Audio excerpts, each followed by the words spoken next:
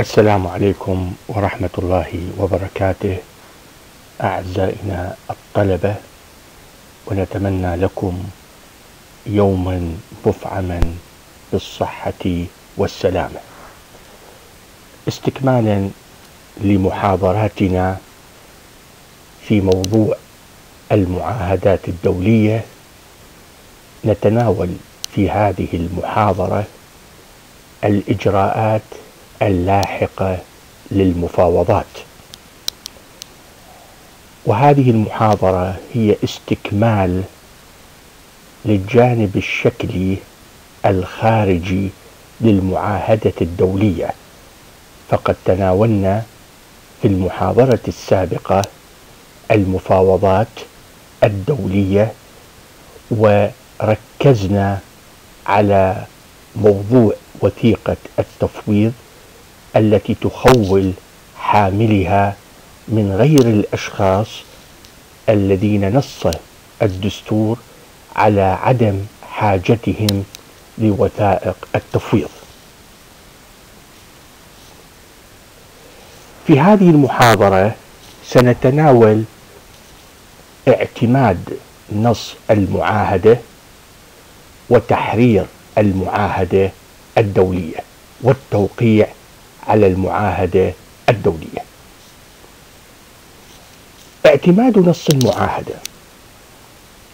يقصد باعتماد نص المعاهدة هو قبول ما تم الاتفاق عليه بين الأطراف المتفاوضة بمعنى أن الأطراف عندما يتفقون فيما بينهم وهذه هي علة المفاوضات هي الوصول إلى اتفاق ما بين الأطراف التي كانت لديهم وجهات نظر مختلفة فالمفاوضات تمهد لإنشاء الأرضية المشتركة وتوحيد رؤى الدول المتفاوضة للوصول إلى الاتفاق الذي هو مشروع المعاهدة الدولية. فاعتماد نص المعاهدة هو القبول بما تم الاتفاق عليه هو إظهار قبول الدول المتفاوضة بأن هذه المعاهدة تلبي متطلبات وطموحات دولهم. في اعتماد نص المعاهدة يثير أو يثار سؤالين. الأول هل يعتبر اعتماد المعاهدة التزاما من الأطراف بتنفيذها؟ بمعنى هل أنه عندما الدول المتفاوضة تعتمد نص المعاهدة معنى ذلك أنه هناك التزاما قانونيا من الأطراف بتنفيذها أي أنه لا يمكن بعد اعتماد نص المعاهدة لأي دولة أن تتنصل من التزاماتها الدولية دون مبرر فإذا قامت بالتنصل من هذه الالتزامات قامت المسؤولية الدولية. فالسؤال إذا هل يعتبر اعتماد المعاهدة التزاما من الأطراف بتنفيذها؟ الجواب كلا بل يمثل وضع نهاية للمفاوضات بين أطرافها. إذا لا يمكن أن نلزم الدولة بالمعاهدة الدولية إلزاما قانونيا على أساس أنها اعتمدت نص المعاهدة الدولية. السؤال الثاني هل يشترط الرضا الجماعي لاعتماد النص؟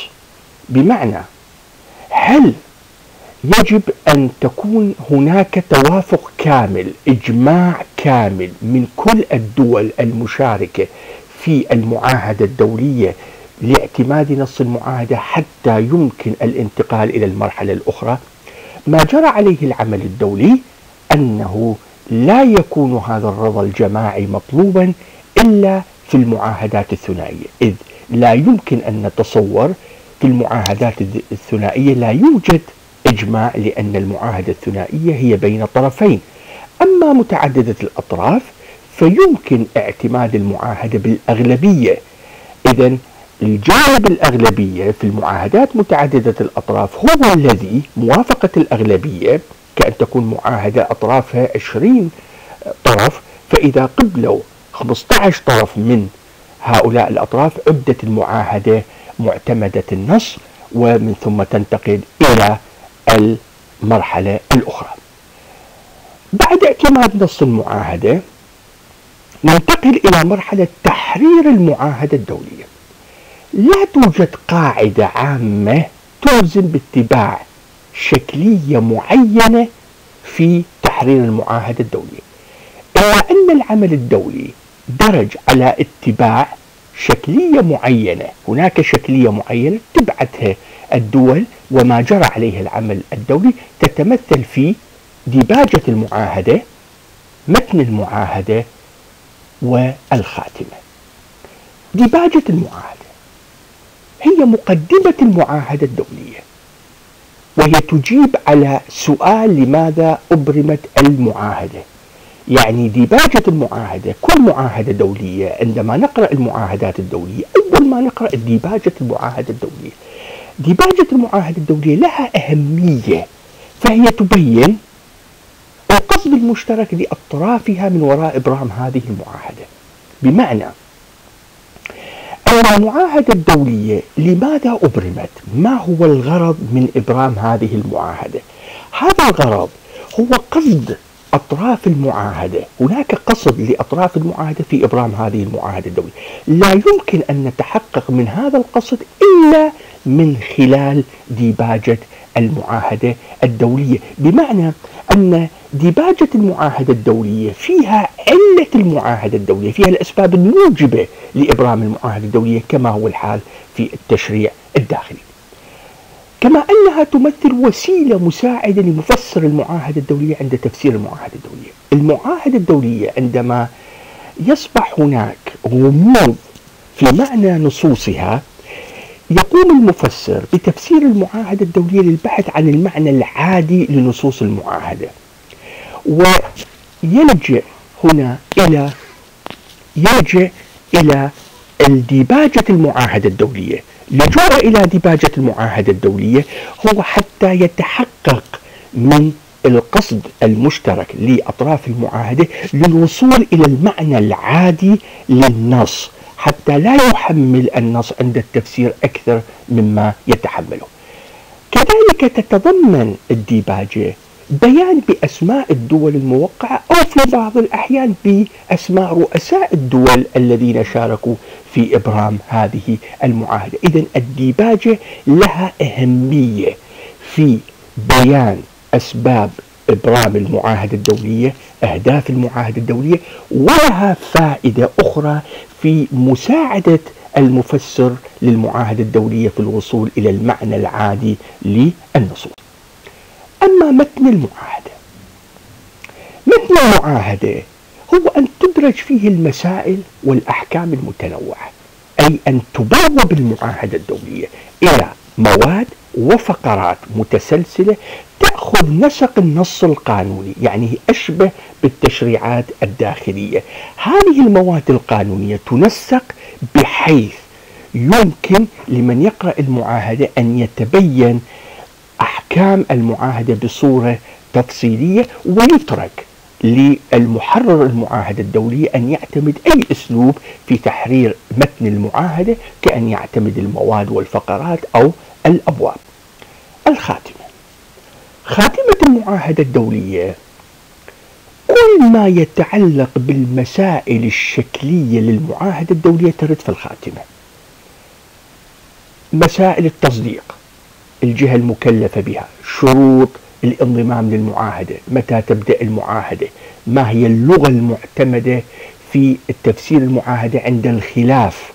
إذا كانت المعاهدة محررة بأكثر من لغة من هي جهة الإيداع؟ من هي الجهة القضائية التي يلجأ إليها؟ آه، أطراف المعاهدة في حالة حدوث نزاع يتعلق بالمعاهدة الدولية. فالمسائل الشكلية المسائل التفصيلية الأخرى التي لا تكون في خانة المواد القانونية ترحل إلى خاتمة المعاهدة الدولية. إذا ديباجة المعاهدة ومتن المعاهدة وخاتمة المعاهدة تصبح المعاهدة محررة ب آه، محررة آه، بصورة قانونية. قبل التوقيع على المعاهدة يثار سؤال هل هناك لغة تلزم الدول بتحرير المعاهدة بها. ما جرى عليه العمل الدولي. في المعاهدات الثنائية تحرر بلغتين لغتي الدولتين طرفي المعاهدة الدولية. ويتم اختيار لغة ثالثة لحسم النزاع في حالة الاختلاف بتفسير المعاهدة الدولية وفق لغتي طرفي المعاهدة. أما في المعاهدات متعددة الأطراف فيصار إلى أن تكتب بلغات الدول الأطراف بلغات الدول الأطراف وكذلك تحدد لغة ثالثة لغرض آه، فض النزاع المتعلق بالتفسير الآن تم تحرير المعاهدة الدولية. ننتقل إلى مرحلة أخرى هي مرحلة التوقيع على المعاهدة. يقصد به إطفاء الصفة الرسمية على ما تم الاتفاق عليه. نحن اتفقنا فيما بيننا قد حررنا معاهدة. نقرأ المعاهدة. هذه المواد التي وردت في المعاهدة هي المواد التي ظهرت في المحاضر اجتماعات الدول أثناء المفاوضات وهو هذا النص هو ما تم الاتفاق عليه. إذا نحن نقبل بهذا التحرير نحن نقبل بهذه المواد وهي ذات المواد التي تفاوضنا عليها. فنوقع حتى نطفي الصفة الرسمية على ما تم الاتفاق عليه وحرر كتابيا هنا يثار سؤال. هل التوقيع على المعاهدة يلزم الطرف الموقع بالمعاهدة التزاما قانونيا واجب تنفيذها؟ بمعنى عندما أوقع على المعاهدة هل أنا ملزم قانونيا بالمعاهدة الدولية؟ لا أستطيع أن أتنصل من المعاهدة الدولية تقوم علي المسؤولية الدولية؟ الجواب كلا. يجب التصديق على المعاهدة ليتحقق الالتزام القانوني. إذا المعاهدة الدولية بالتوقيع أنا أوقع على المعاهدة الدولية أي أثبت ما تم الاتفاق عليه وحر الكتاب.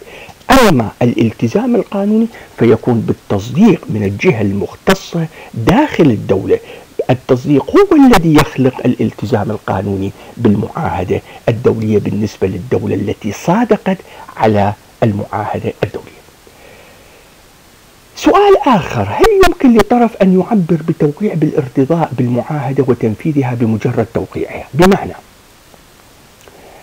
أنه طرف عندما يوقع على المعاهدة الدولية يقول أن هذا التوقيع هو بمثابة التصديق. أنا ارتضيت بالمعاهدة الدولية وسأقوم بتنفيذها. هل هذا التوقيع يملك ذات الأثر الذي يملكه التصديق. هنا حالات.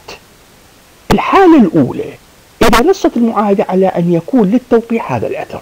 في المعاهدة يقول في المعاهدة ورد نص أن التوقيع الكامل يمثل تصديقا للمعاهدة الدولية أو أن تتفق الأطراف فيما بينها. تقول أن التوقيع على المعاهدة يكون بمثابة التصديق وبمثابة التزاما قانونيا بالمعاهدة الدولية أو إذا أبدت النية الدولة دولة أبدت نيتها أثناء وثيقة التفويض في وثيقة التفويض أو أثناء المفاوضات بأن هذا التوقيع له ذات الأثر فهنا يمكن أن يكون للتوقيع على المعاهدة الدولية ذات الأثر الذي يمثله التصديق على المعاهدة الدولية.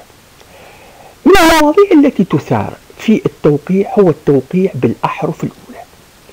ما يقصد به تذييل المعاهدة بالأحرف الأولى لأسماء ممثلي الأطراف الذين اشتركوا في المفاوضة. فهنا تثار أسئلة. السؤال الأول هل لهذا التوقيع قيمة قانونية؟ الجواب لا قيمة قانونية. له إلا مجرد توثيق لنص المعاهدة.